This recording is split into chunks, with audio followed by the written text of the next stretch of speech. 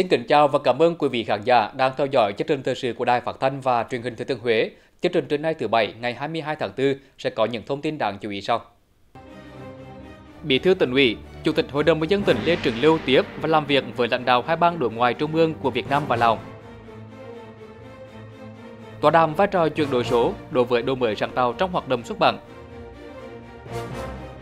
Các trường học trên địa bàn huyện miền núi Nam Đông đã tổ chức nhiều hoạt động thiết thực ý nghĩa nhằm tạo ra môi trường đọc sách gần gũi thân thiện. Vào tối qua, Ủy viên Trung ương Đảng, Bí thư tỉnh ủy, Chủ tịch Hội đồng nhân dân tỉnh Lê Trường Lưu đã có buổi tiếp và làm việc với lãnh đạo hai ban đối ngoại trung ương của Việt Nam và Lào, gồm ông Thông Sa Văn Phong Vi Hạnh, Ủy viên Trung ương, trưởng ban đối ngoại Trung ương Đảng Nhân dân Cách mạng Lào, ông Lê Hoài Trung, Ủy viên Trung ương Đảng, trưởng ban đối ngoại Trung ương Đảng Cộng sản Việt Nam. Tham dự buổi tiếp còn có các đồng chí trong ban thường vụ tỉnh ủy, thường trực Hội đồng nhân dân, Ủy ban nhân dân, Ủy ban Mặt trận Tổ quốc Việt Nam tỉnh và lãnh đạo chủ chốt các ban ngành của tỉnh Thừa Thiên Huế. Tại buổi tiếp, Bí thư tỉnh ủy Lê Trường Lưu vui mừng chào đón hai đoàn của ban đối ngoại Trung ương Việt Nam và Lào đến thăm và làm việc tại Thừa Thiên Huế. Đồng thời, thông tin khái quát một số nét về tình hình phát triển kinh tế xã hội của tỉnh trong thời gian qua với những bước phát triển đáng kể. Tiêu biểu như năm 2022, chỉ số PCI xếp thứ 6 trên 63 tỉnh thành cả nước, chỉ số PAPI đứng ở vị trí thứ 5. Riêng đối với công tác đối ngoại, tỉnh đã có nhiều chỉ thị, chương trình, kế hoạch nhằm thực hiện các văn bản của Trung ương về công tác đối ngoại, kế thừa và phát huy mối quan hệ hữu nghị truyền thống, đoàn kết đặc biệt Việt Nam Lào. Thông qua nhiều hình thức khác nhau, tỉnh luôn củng cố, vun đắp và phát triển mối quan hệ hữu nghị hợp tác với các tỉnh Trung, Nam Lào đặc biệt là với hai tỉnh giáp biên giới Salavan và Sê Công ngày càng gắn bó tin cậy. Trong thời gian tới, Bí thư tỉnh ủy Lê Trường Lưu mong muốn ban đối ngoại trung ương Việt Nam và Lào quan tâm tạo điều kiện thuận lợi cho các địa phương được bằng Lào và tỉnh Thừa Thiên Huế triển khai các thỏa thuận hợp tác đã ký kết. Phát biểu tại buổi làm việc, ông Lê Hoài Trung, trưởng ban đối ngoại trung ương Đảng Cộng sản Việt Nam đánh giá cao sự phát triển vượt bậc của Thừa Thiên Huế trong thời gian qua đồng thời cũng nêu lên một số vấn đề cần giải quyết đối với tỉnh như tăng cường quan hệ hợp tác đối ngoại, đẩy mạnh củng cố giữ vững an ninh chính trị vùng giáp biên giới với nước bạn Lào, tiếp tục gìn giữ vun đắp cho mối quan hệ đoàn kết đặc biệt hai nước ngày càng phát triển đi vào chiều sâu, thiết thực và hiệu quả trên các lĩnh vực, góp phần giữ vững ổn định và phát triển mỗi đất nước. Ông Thom Sa Văn Phong Vi Hạnh, trưởng ban đối ngoại trung ương Đảng Nhân dân Cách mạng Lào khẳng định chính sách đối ngoại của Lào luôn coi trọng hàng đầu quan hệ với Thừa Thiên Huế nói riêng và Việt Nam nói chung, đồng thời bày tỏ vui mừng về mối quan hệ đoàn kết đặc biệt hai nước ngày càng phát triển sâu rộng.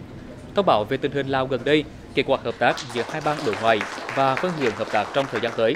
Ông Thông Sa Văn Phong Vi Hạnh khẳng định sẽ phù hợp chặt chẽ với ban đối ngoại trung ương Đảng Cộng sản Việt Nam triển khai thực hiện có hiệu quả thỏa thuận giữa lãnh đạo cấp cao hai đảng, thỏa thuận hợp tác giữa hai ban đối ngoại, các đoàn thể, tổ chức nhân dân góp phần đưa mối quan hệ đoàn kết đặc biệt Lào và Việt Nam ngày càng phát triển đi vào chiều sâu, hiệu quả và thiết thực trên tất cả các lĩnh vực. Chiều qua, huyện ủy Phú Vang tổ chức hội nghị lần thứ 13 để sơ kết đánh giá giữa nhiệm kỳ thực hiện nghị quyết đại hội đảng bộ huyện, sơ kết tổng kết các chỉ thị nghị quyết của Trung ương và cho ý kiến về tình hình kinh tế xã hội quý 1 năm 2023. Dự và phát biểu chỉ đạo tại hội nghị có đồng chí Phan Xuân Toàn, trưởng ban tổ chức tỉnh ủy. Trong nhiệm kỳ qua, Phú Vang đã có 3 chỉ tiêu đạt và vượt, các chỉ tiêu còn lại cơ bản thực hiện đạt theo tiến độ kế hoạch. Tốc độ giá trị sản xuất bình quân hàng năm tăng 11,92%. Lĩnh vực công nghiệp, tiểu thủ công nghiệp, ngành nghề nông thôn có những chuyển biến đáng kể, duy trì tốc độ tăng trưởng, quy mô và sản lượng. Chương trình xây dựng nông thôn mới, giảm nghèo bền vững triển khai tích cực và đạt kết quả tốt. Phát biểu chỉ đạo tại hội nghị, đồng chí Phan Xuân Toàn, Ủy viên Thường vụ tỉnh ủy, trưởng ban tổ chức tỉnh ủy ghi nhận, đánh giá cao những kết quả đạt được của Đảng bộ huyện Phú Vang từ đầu nhiệm kỳ đến nay và để hoàn thành các chỉ tiêu nghị quyết đại hội đề ra, đồng chí trưởng ban tổ chức tỉnh ủy đề nghị đảng bộ, chính quyền từ huyện tới cơ sở chủ động ra soát, đánh giá các chỉ tiêu về công tác xây dựng đảng, về phát triển kinh tế xã hội, đảm bảo an ninh quốc phòng trong nghị quyết đại hội đảng bộ huyện và kế hoạch phát triển kinh tế xã hội, xây dựng kế hoạch triển khai các giải pháp phù hợp phấn đấu hoàn thành vượt mức các chỉ tiêu đề ra, đặc biệt tập trung vào các chỉ tiêu nhiệm vụ kinh tế chưa hoàn thành, chú trọng chuyển đổi cơ cấu cây trồng, vật nuôi, nâng cao giá trị thu nhập cho người dân. Bên cạnh đó, phát huy tiềm năng, lợi thế của địa phương để tạo bước đột phá mạnh mẽ trong phát triển kinh tế xã hội, xây dựng nông thôn mới. Sáng ngày 21 tháng 4, huyện ủy Quảng Điền đã tổ chức hội nghị cán bộ chủ chốt toàn huyện để nghiên cứu, quán triệt và triển khai các văn bản mới của Trung ương, tỉnh ủy và những nội dung quan trọng khác. Tại hội nghị, các đại biểu đã được nghiên cứu quán triệt những kết quả lấy ý kiến nhân dân đối với dự thảo luật đất đai Quy định 96 QĐ-TVK ngày 2 tháng 2 năm 2023 của Bộ Chính trị về việc lấy phiếu tín nhiệm đối với chức danh chức vụ lãnh đạo quản lý trong hệ thống chính trị. Quy định số 89 QĐ-TVK ngày 1 tháng 12 năm 2022 của Ban Bí thư về quy trình kiểm tra, giám sát, thi hành kỷ luật đảng, giải quyết tố cáo, khiếu nại kỷ luật đảng cấp ủy, cấp tỉnh và cấp tương đương đến cơ sở. Quyết định 90 QĐ-TVK ngày 27 tháng 2 năm 2023 của Ban Bí thư về cơ đảng Cộng sản Việt Nam và việc sử dụng cơ đảng. Quyết định số 85 của Ban Bí thư về việc cán bộ, đảng viên thiết lập và sử dụng trang thông tin điện tử cá nhân trên internet, mạng xã hội. Hội đồng nhân dân huyện Phong Điền tổ chức kỳ họp chuyên đề lần thứ 5 khóa 7, nhiệm kỳ 2021-2026 để xem xét cho ý kiến về việc điều chỉnh quy hoạch sử dụng đất giai đoạn 2021-2030, tầm nhìn đến năm 2050 của huyện.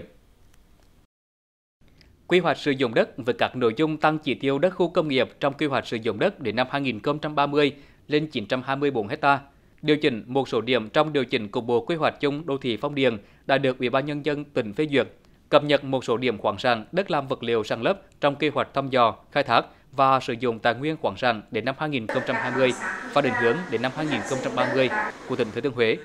Điều chỉnh một số chỉ tiêu sử dụng đất trong các phương án quy hoạch chi tiết các dự án kêu gọi đầu tư của tỉnh trên cơ sở tờ trình của Ủy ban dân huyện và báo cáo thẩm tra của Ban Kinh tế Xã hội của Hội đồng nhân dân huyện Phong Điền, các đại biểu đã thảo luận, biểu quyết, nhất trí thông qua nghị quyết. Phát biểu bế mạc kỳ họp, đồng chí Võ Văn Vui, tỉnh ủy viên, bí thư huyện ủy, chủ tịch Hội đồng nhân dân huyện Phong Điền nhấn mạnh, sau kỳ họp này, đề nghị Ủy ban nhân dân huyện hoàn chỉnh hồ sơ thủ tục quy hoạch sử dụng đất giai đoạn 2021-2030 và tầm nhìn đến năm 2050 để trình Ủy ban nhân dân tỉnh sớm phê duyệt tổ chức thực hiện. Đoàn công tác cơ quan thường trực Ban chỉ đạo 167 Bộ Quốc phòng đã có buổi làm việc với Bộ Chỉ huy quân sự tỉnh và các đơn vị quân đội đóng quân trên địa bàn tỉnh Thừa Thiên Huế về việc thực hiện sắp xếp lại, xử lý cơ sở nhà đất theo Nghị định 167 của Chính phủ. Tại buổi làm việc, cơ quan thường trực Bộ Chỉ huy quân sự tỉnh đã báo cáo kết quả thực hiện sắp xếp lại, xử lý cơ sở nhà đất theo Nghị định 167.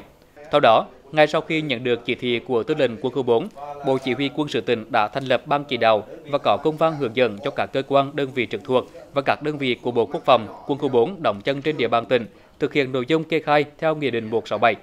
Đồng thời tổng hợp và bàn giao toàn bộ hồ sơ biên bản kiểm tra hiện trạng nhà đất cho Sở Tài chính tỉnh theo quy định. Hiện công tác sắp xếp lại cơ sở nhà đất, phương án giữ lại tiếp tục sử dụng và phương án chuyển giao về địa phương quản lý để phát triển kinh tế xã hội được thực hiện đúng thủ tục.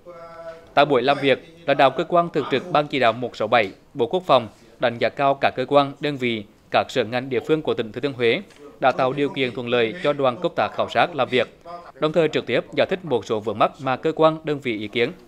Thời gian tới, lãnh đạo cơ quan thường trực Ban chỉ đạo 167, Bộ Quốc phòng đề nghị các cơ quan, đơn vị tiếp tục nghiên cứu các văn bản theo đúng quy định để thực hiện tổ công tác sắp xếp lại cơ sở nhà đất theo quy định của Chính phủ và Bộ Quốc phòng. Trong khuôn khổ Ngày sách và Văn hóa đọc Việt Nam lần thứ hai tại thành phố Huế, Nhà xuất bản Thông tin và Truyền thông tổ chức tọa đàm vai trò chuyển đổi số đối với đổi mới sáng tạo trong hoạt động xuất bản.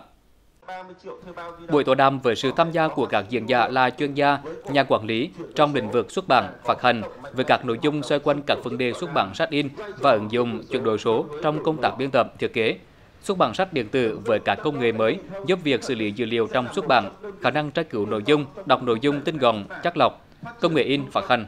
Hiện nay, hầu hết các công ty sách hay nhà xuất bản đã đẩy mạnh ứng dụng công nghệ và hoạt động xuất bản, phát hành chuyển đổi số trong xuất bản. Có thể thấy rõ nhất là trong các hoạt động marketing, bán hàng trên các trang thương mại điện tử, xuất bản điện tử, sách điện tử và các hình thức xuất bản trên phương tiện truyền thông. Thông qua tọa đàm lần này, các nhà xuất bản, các công ty phát hành sách và những người quan tâm đến xuất bản được trao đổi, học tập kinh nghiệm để không ngừng đổi mới, sáng tạo trong hoạt động xuất bản và ứng dụng chuyển đổi số trong lĩnh vực này nói riêng. Thưa quý vị và các bạn, một ngày chỉ có 24 tiếng đồng hồ, ngoài việc phải đi làm, ăn uống, chăm sóc gia đình, thì còn biết bao những việc không tên khác. Vậy đã bao giờ bạn từng phải thăng vãn rằng, tôi mua rất nhiều sách về mà chẳng có thời gian để đọc. Trong khi đó, một chiếc smartphone như thế này lại có quá nhiều thứ hấp dẫn hơn luôn bên cạnh. Vậy tại sao chúng ta không nghĩ đến việc sử dụng smartphone cho việc đọc sách? Là chủ một doanh nghiệp về du lịch, bận rộn và di chuyển nhiều, anh Nguyễn Thành An vẫn cố gắng sắp xếp cho mình khoảng 2 tiếng mỗi ngày cho việc đọc sách. Nếu phải di chuyển nhiều, anh sẽ sử dụng sách nói trên các ứng dụng thay cho sách giấy. Cái tai nghe là đi ở đâu, di chuyển như nào thì mình vẫn có thể là update được cái kiến thức từ sách. Nghiên cứu của các nhà khoa học ấy là nếu sách đọc sách ờ, in à, thì cái độ nhận biết nó là 10%, thì sách nói nó mang lại cho ta cái hiểu biết à, cái trí nhớ ấy, độ nhớ ấy là 20%. Sách nói, sách có ứng dụng QR code ngày càng xuất hiện nhiều để đáp ứng nhu cầu của người trẻ. Việt Nam hiện có 3 đơn vị sản xuất sách nói tiêu biểu như Waka, Phonos và WeWe. Theo số liệu thống kê, trong 3 năm đại dịch, lượng độc giả tiếp cận với sách nói đã tăng từ 20 đến 30% mỗi năm. Chúng ta hiện nay mỗi năm đã xuất bản được khoảng hơn 2.000 cái đầu sách về điện tử. Thì đó là những nỗ lực chuyển đổi số của ngành, cho thấy những bước đi rất là lớn. À, cùng với đó thì nhiều đơn vị khác thì cũng tham gia vào để thực hiện cái việc tiếp cận bạn đọc. Mà chỉ riêng tính ba doanh nghiệp là Fornot, là WNG và Waka thì đã tiếp cận đến 25 triệu lượt bạn đọc một năm. Trong thời đại số, không gian đọc sách đã không còn mặc định đó phải là một không gian tĩnh mà lại năng động và thú vị như chính cuộc sống hiện đại. Không quan trọng bằng đọc sách ở đâu, mà quan trọng đó là phải nơi truyền được cảm hứng, đưa sách đến tất cả mọi người. Đọc sách là thói quen tốt, nhất là với lứa tuổi học sinh. Chính vì vậy, việc lan tỏa phong trào hình thành thói quen đọc sách ngay từ lứa tuổi học đường có ý nghĩa rất lớn trong giáo dục.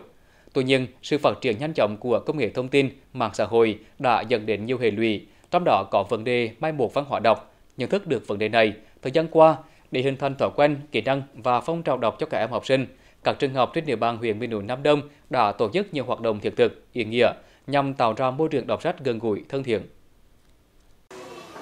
Trường tiểu học thường Lộ có 5 lớp với 148 học sinh, trong đó 100% là học sinh dân tộc thiểu số. Để tạo được thói quen, dần hình thành tình yêu, đam mê đọc sách trong các em học sinh là cả một quá trình. Bởi với các em trước khi đến trường, việc sử dụng tiếng Việt còn nhiều hạn chế. Vì thế, nhà trường đã triển khai nhiều hoạt động nhằm thu hút các em và rèn luyện thói quen đọc sách trong học sinh nhà trường. Đối với cái hoạt động à, nghiệp vụ thì đã, sách được phân loại à, sách theo từng chủ đề cụ thể để cho các em tìm sách và đáp ứng nhu cầu của các em nhanh chóng. Còn à, các cái hoạt động khác như là phối hợp với công tác đội, với giáo viên chủ nhiệm tổ chức cho các em tham gia các cái hội thi kể chuyện theo sách, à, tổ chức à, cho các em là giới thiệu sách giấy cờ, kể chuyện theo sách giấy cờ và tổ chức các cái hoạt động trưng bày sách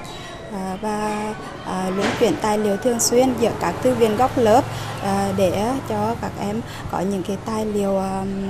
dạ, tham khảo phong phú hơn, đa dạng hơn. Một ngày, tranh thủ khoảng thời gian của giờ ra chơi, rất đông các em học sinh lại tụ tập về thư viện để đọc sách. Với hơn 6.800 đầu sách, trong đó sách giáo khoa hơn 2.800 bản, sách thiếu nhi gần 2.400 bản. Ngoài ra, còn có nhiều đầu sách về phát triển phẩm chất con người, sách kể chuyện Bác Hồ đến sách khoa học. Tất cả các em học sinh có thể thoải mái lựa chọn những cuốn sách yêu thích.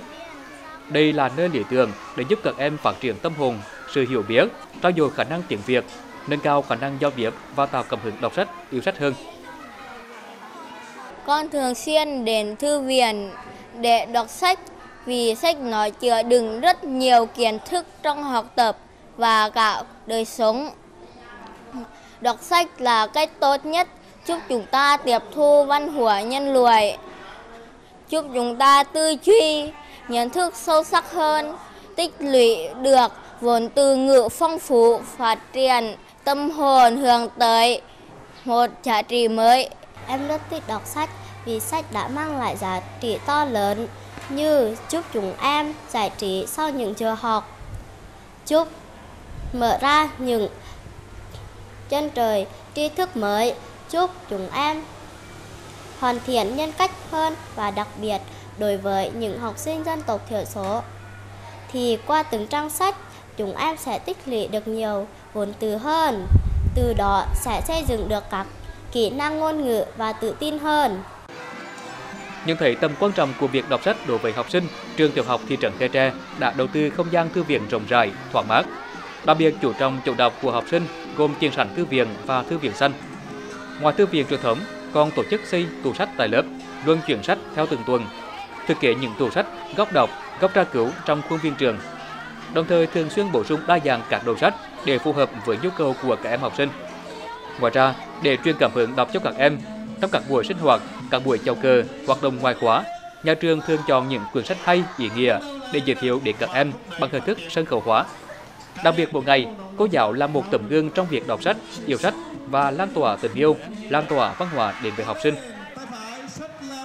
Sau khi đọc sách thì à, các thầy cô à, đúc kết và chia sẻ các cái kinh nghiệm và ứng dụng trong cái việc ừ, đọc sách của mình. À, từ à, các cái phong trào của các thầy cô, cán bộ giáo viên thì các em học sinh cũng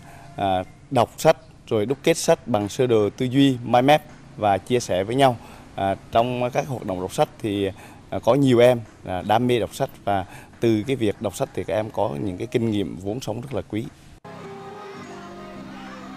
Đối với lứa tuổi học sinh, để tạo được thói quen, dần hình thành tình yêu, đam mê đọc sách trong các em là một quá trình. Cần có sự chung tay góp sức của thầy cô giáo, phụ huynh và cả cộng đồng để hướng các em lựa chọn những cuốn sách phù hợp, phương pháp đọc hiệu quả, giúp các em hình thành thói quen đọc sách, là bằng với những trang sách. Các em thấy được những giá trị mà sách mang lại, không chỉ phát triển tư duy, tích lũy kiến thức, ngôn ngữ, trau dồi kỹ năng viết, rèn luyện sự tưởng tượng, tư duy logic và sáng tạo, mà đọc sách còn là cách để các em thư giãn, tăng cường sức khỏe tinh thần, thúc đẩy phát triển cá nhân cũng như nuôi dưỡng trí tưởng tượng và tình yêu với văn học.